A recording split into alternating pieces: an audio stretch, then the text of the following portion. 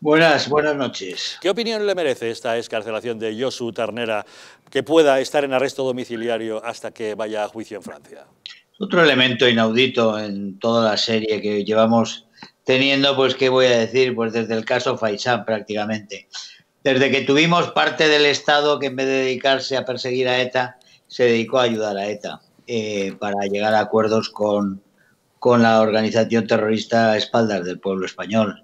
Desde entonces tenemos acontecimientos de estos uno detrás de otro.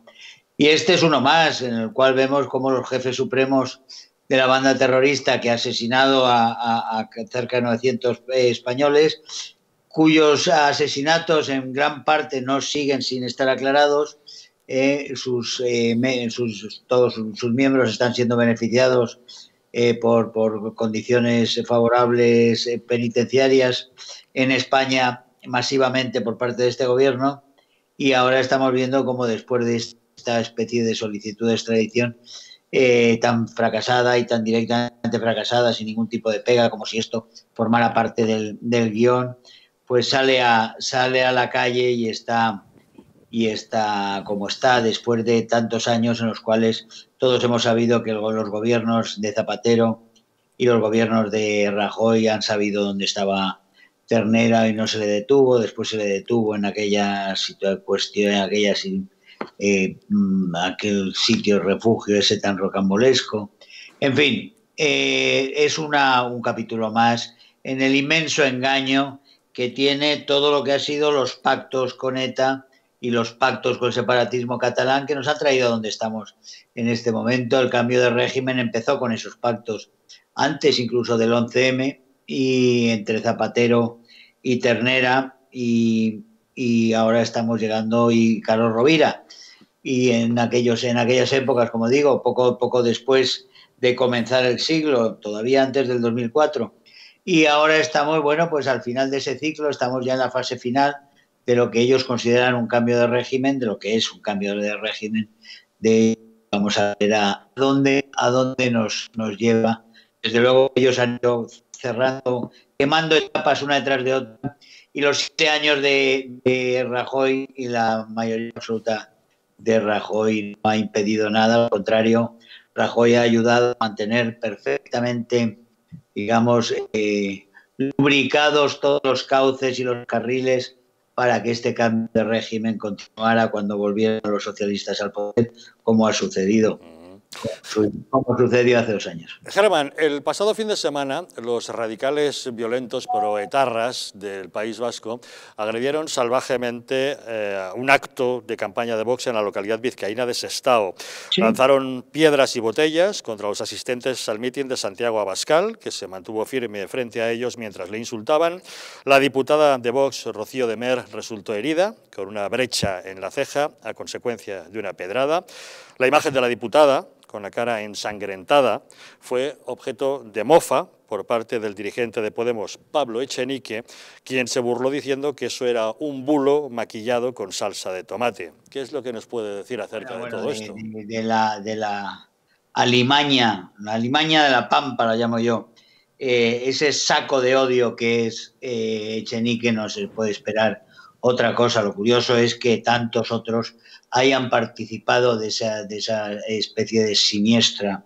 eh, mascarada de poner en duda una pedrada cuando en realidad hubo decenas de pedradas, porque todo el mundo vio en los vídeos cómo se lanzaban piedras, cómo se lanzaban botellas y además también cómo se disparaban con, con rodamientos eh, cómo se les tiraban rodamientos, que es bastante más peligroso, y podían haber, eh, y, son, pueden, pueden, eh, los impactos pueden ser mucho más, mucho más graves que los de la piedra, pero bueno, que la, piedra podía haber sacado perfectamente el ojo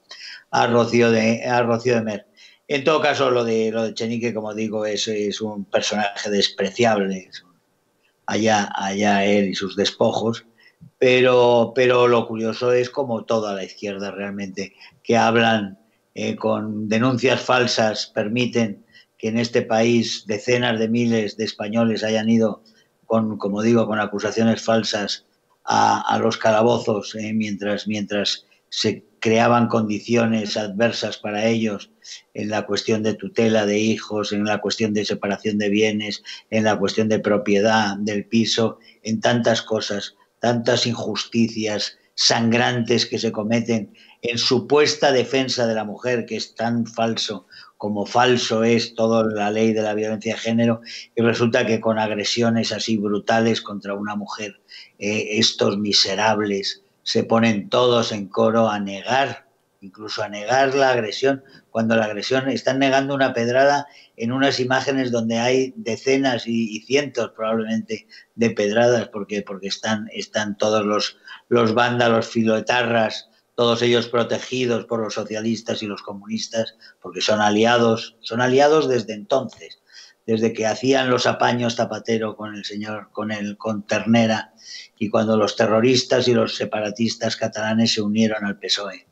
para el proyecto este del cambio de régimen. En ese sentido, eh, la, negación, o sea, el intentar, eso sí que es negacionismo, el, un hecho absolutamente palmario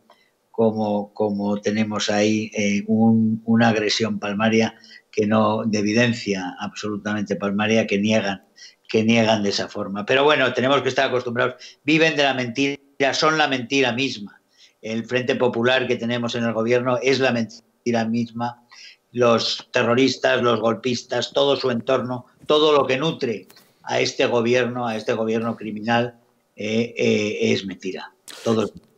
Y un asunto más, eh, ¿qué le parece que las prisiones de la Generalitat de Cataluña estén ya preparando los informes para la excarcelación de los eh, separatistas condenados por sedición? Ese paso a un eh, tercer grado que les permitiría salir durante el día y solamente tener que ir a dormir a la cárcel por la noche. Pues es un paso es lo mismo, es Ternera, Ternera y Ternera y Junquera son están en el mismo están en el mismo bote, reman en la misma dirección con Sánchez, con Iglesias, todos ellos están están en la misma operación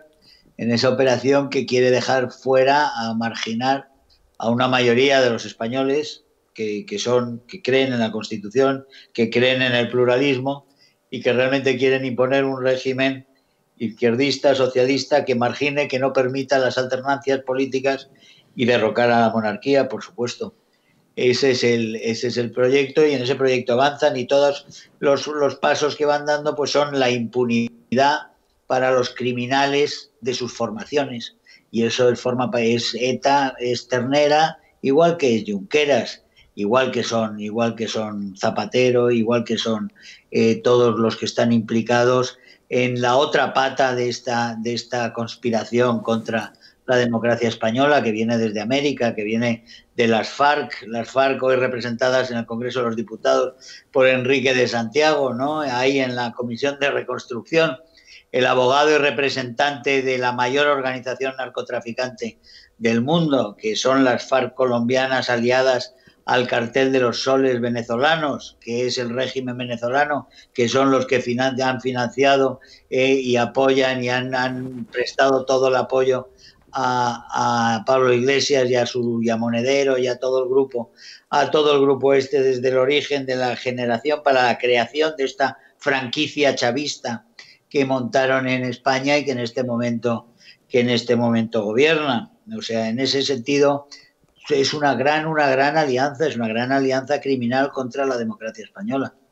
Don Germán Terch, periodista y eurodiputado de Vox, gracias como siempre. O sea, que no os sorprendáis, no os sorprendáis nada, que esto siga así. No nos, no nos sorprendemos, no nos sorprendemos y, veremos cosas, don Germán, que nos helarán la sangre, ya nos habían advertido que nos helarán la sangre a todos. Nos habían advertido. Gracias, Germán. Hasta la próxima ocasión. Dios. Don César.